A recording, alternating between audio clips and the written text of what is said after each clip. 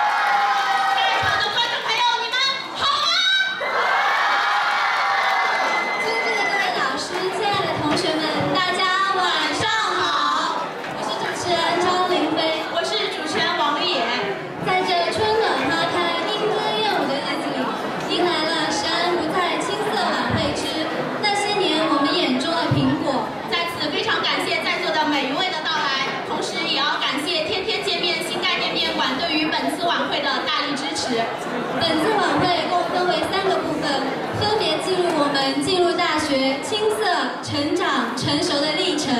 对，就像每一个老奸巨猾的人，总会有那么一段青涩而纯良的过去嘛。